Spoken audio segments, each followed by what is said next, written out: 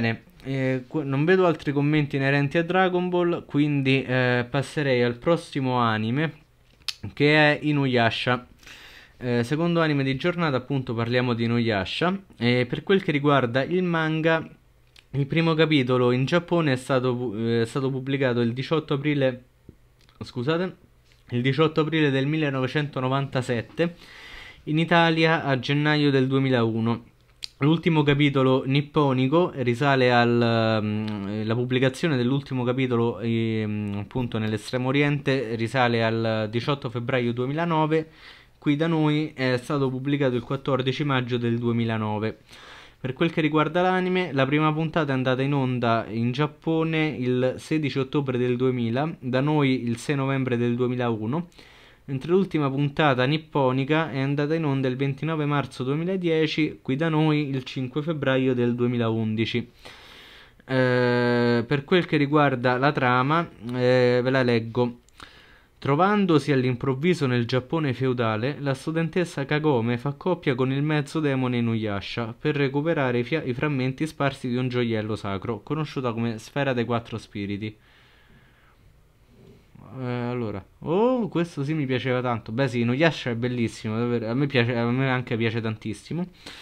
E in questo senso in realtà devo ringraziare, come spesso faccio, devo ringraziare mio zio Massimo, che la prima volta, la, una, vidi una puntata, la prima volta che vidi Nuyasha era una puntata, non mi ricordo quale, però la, la vidi con lui. E mi piacque tantissimo, tanto che poi la, la recuperai subito, praticamente, molto molto bella. E mm, per quel che riguarda l'anime, posso aggiungere, anzi devo aggiungere, che è composto da 7 stagioni per un totale di eh, 193 episodi da 20 minuti l'uno. Quindi è in realtà anche molto fattibile. E su Netflix sono mm, reperibili le prime 4 stagioni, se vi interessa. Eh. E quindi ecco, che ne pensate? Per chi ha visto l'anime vorrei sapere chi è il vostro personaggio preferito e per chi non l'ha visto vorrei sapere se sono riuscito a incuriosirvi. E personalmente ecco posso dirvi che il mio personaggio preferito è Kirara, chi ha visto l'anime ricorderà Kirara e la amo alla follia. E sull'anime posso dirvi che l'ho apprezzato molto, come vi ho detto, molto molto bello. Cioè, amo Kirara perché in realtà è un...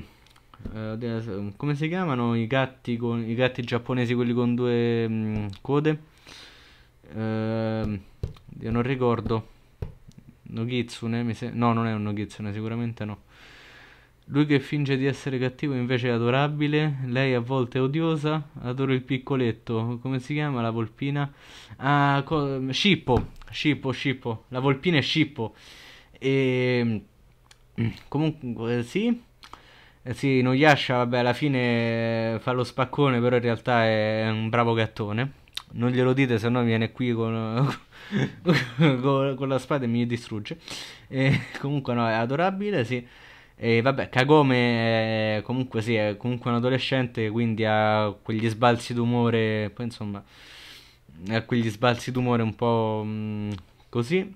Scippo è il mio preferito, beh, comprensibile, eh? comunque anche Scippo fa ammazzare delle risate che è questa volpe bambina che praticamente con, l'innoscen- con l'in- l'innoscenza, sì, sicuramente, con l'innocenza e la sfacciataggine comunque dei bambini, comunque gliene dice di tutti i colori a Inuyasha, è bellissimo vederli, perché poi Inuyasha fa ammazzare dalle risate perché poi si abbassa al sole, si comporta come un bambinone davvero, e quindi si rincorrono, si ammazzano de botte, e Kagome che prende di, le parti di Shippo che ovviamente accentua la reazione, che ovviamente che, mh, le attenzioni di Kagome, Shippo essendo una volpe, c'ha l'occhio lungo, comunque...